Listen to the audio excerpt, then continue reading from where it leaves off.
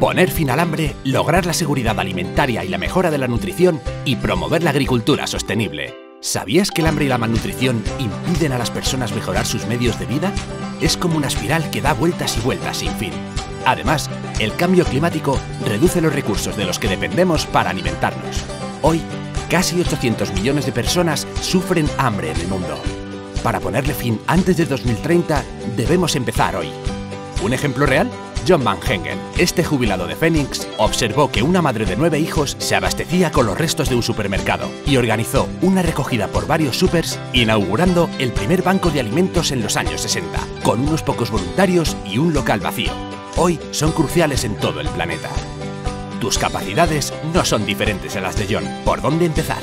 1. Adopta una alimentación sana y equilibrada y difúndelo. Estar bien alimentado no es comer mucho, sino hacerlo correctamente. 2 compra las piezas de fruta y verdura que no son supuestamente adecuados por su aspecto imperfecto. Evitarás que acaben en la basura. 3. Planifica bien la compra para no tirar alimentos. Congela los productos antes de que caduquen o pide la comida sobrante en un restaurante. 4. Organiza y colabora en recogidas de alimentos solidarias y haz donaciones en proyectos para la escolarización de niños ofreciéndoles una comida diaria completa. 5.